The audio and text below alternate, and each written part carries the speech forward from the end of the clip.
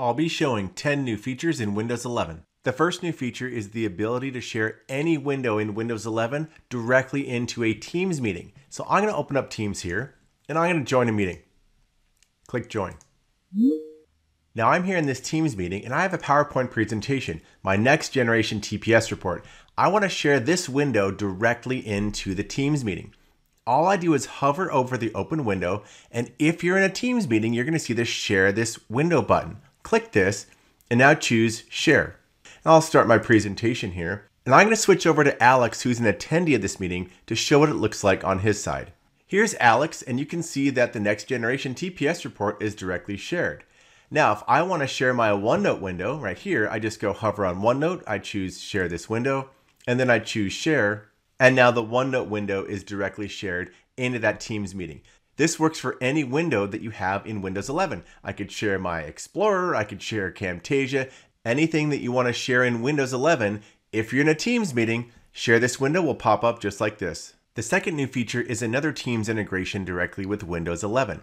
I'm here in my Teams meeting, and in the upper right, you can see that my microphone is open and I'm able to talk during a meeting. The new update is there's a big fat blue microphone here that is also showing for Teams. So I can just click this and it will mute my microphone up there.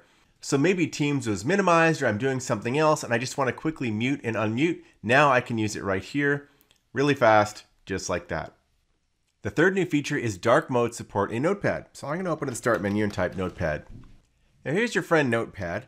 First up, I'm going to make this dark mode. So in the upper right, there's a settings gear. And now you can drop this down and choose dark. Also, if you have a system setting that is set to dark mode, Notepad will just follow it automatically. So for example, I'll use system setting here, and now I'm to switch my background and theme in Windows 11 to the dark mode. Let's check that out. So I've switched over my Windows theme to the darker mode, and you can see automatically Notepad switched as well. We'll hit the back button here. The fourth new feature is emoji support in Notepad. I've always wanted that. So I've planned out a LinkedIn post here. It's actually about my new Nano Tips course on how to learn Office and short little tips. Look at this. I've got my little check boxes in color. I've got the little pointer, a little watch. So Notepad now supports emojis. It's a small one, but it's kind of nice. The fifth new feature is multi-level undo and redo in Notepad. So maybe I deleted a word here and then I go delete this word here if I do Control Z, the first one comes back. Control Z again, the second one comes back. And with Control Y, which is redo, I can redo. So there's multi-level undo and multi-level redo. The sixth new feature is improved find in Notepad. It's been updated quite a bit. So I'm going to go to the edit menu here and there's find, also control F. Click that and here's this new find dialog. I can expand this right here and there's replace options, replace, replace all. This option here, by default, it's wrap around, but you could also match the casing. So if I'm going to search a certain word here, Amazon, hit enter, it found one. I can go up or down, so I'm going to search down. Here it's finding some other Amazons. I can go back up again like this. So some simple improvements to the Notepad Find user interface. The seventh new feature is a dramatically improved emoji experience in Windows 11. So you can insert emojis anywhere. I've just got Word open here if I do the Windows key and period, it pops up the emoji dialog. First off, you're going to see my most recently used emojis or GIFs right here, or Kaomojis. If I scroll up and I click on the emoji icon, now I have a library of all these emojis, and you can see these have been updated to the 3D Fluent experience. So there's a lot of great new emojis you can experiment with. You can have the little categories here, people, celebrations, food, if I want to make my avocado emoji, there we go. I'll click this and now it inserts it right there. I'll hit the back button. We also now have GIFs. So if I go to GIF, I have lots of GIFs I can search for. I'm going to search for my favorite, which is freaking excited. I'll click this here. I'm so freaking excited. There's that animated GIF. The eighth new feature is the weather widget has returned in Windows 11. So I'm going to enable the widgets option. So I'm going to right click here, choose taskbar settings. And right here, we're going to turn on widgets, flip that to on. Now in the lower left, you're going to see widgets and the weather widget is back. This has been a top request. So I can always glance at my weather widget over on the left. And I have all the other widgets here, weather, you could have stocks and other things that you might have. This is the widgets that ship with Windows 11, but the weather widget right here has been the highly requested one. I could always go and change this too. I can make it small, medium, or large. I can customize the widget, or I can remove the widget. Maybe I want to make it big, and now it expands out and I can see a little bit more data. The ninth new feature is Android app support on Windows 11. This is a preview and you start with the Microsoft Store to get going. So I'm going to open the Start menu and type Store and enter. Here's the Microsoft Store in Windows 11. I'm going to go to the top and I'm just going to search for Android to find some Android apps.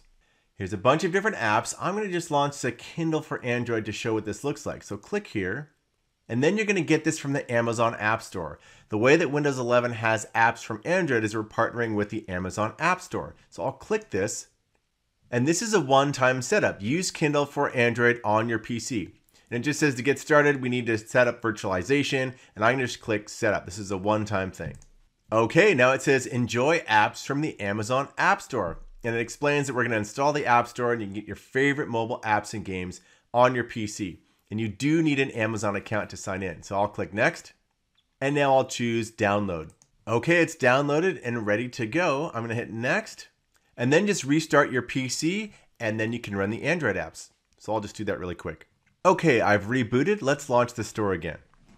I'll go back to my Kindle for Android, click here, and choose Get from Amazon App Store. Now that the subsystem has been installed, this dialog comes up. And I'm already an Amazon customer, so I'll sign in.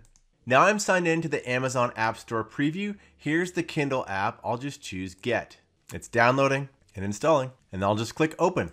Now I've got the Amazon Android Kindle right here in Windows 11. I could start reading or do a different account or whatever I want. So this is just one example of how you can now install Android apps on Windows 11. The 10th new feature is an updated and improved media player. For you old school window fans, we've taken the old groove music, we've given it a little bit of a facelift and some new features, and it's been rebranded as Windows Media Player. So now I'm going to launch this here by opening the Start menu and typing Media. Here's the new Media Player. Now you can see that it matches system settings, which is dark mode. I can go to the lower left here and choose settings, and you have a couple options to change the theme. Right here it's set to system setting. I could also choose light or dark, but we'll leave system setting on by default. There's also accent color zest, or you could just say use the system setting. We'll leave it like this, and I'm gonna close settings now. For music library, you've got songs, albums, and artists. This is pretty standard that's existed. You've also got a video library, so I can have my videos right here. You have playlists, I haven't created any. But for those of you that have MP4s or MP3s locally on your machine, this is great to be able to manage your library. You can also go and change where these folders live. So for example, if I go into settings, I can choose the music library locations. I can add a folder.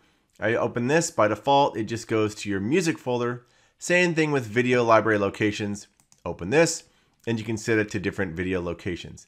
So there's nothing radically new here, but this is a modernized media player for those of you that have used and loved media player in the past. This is the update. If you want to keep up with all the latest Microsoft updates and tips and tricks, subscribe to my channel and then just ring the bell so you get all the latest videos that I post.